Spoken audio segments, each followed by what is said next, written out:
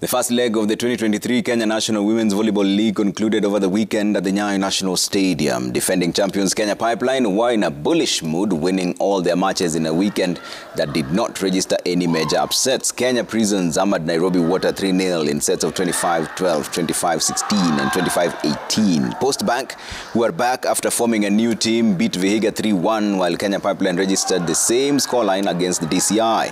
KCB's good run continued as they comfortably saw off KDF in street sets of 25-14, 25-12, 20 and 25-18. The first leg gave the teams an opportunity to try out their new signings. The second leg date and venue are yet to be set by the Kenya Volleyball Federation.